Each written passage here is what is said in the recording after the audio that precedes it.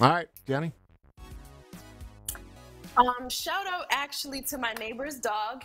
Her name, his name is Shadow, and it reminds me of my cat whose name was Shadow. It's funny, weird, but shout out to Shadow. You're so cute. He's a poodle, and he's so adorable. He's all black. He's so cute.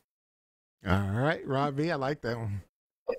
Shadow. Ah, special sh- special shout out to my aunt Eliane and Uncle Rolly and their kids for hosting the family reunion last weekend. It was a wonderful Aw. time with many loved ones. It was rejuvenating. Thank you.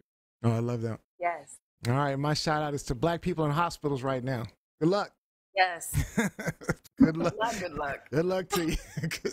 All right. Good luck. all right. That is Oh, officially man. all the time we have for today's show. I'd like to thank you for joining us. We hope you learned something, maybe gained a new perspective, or simply had some laughs with us.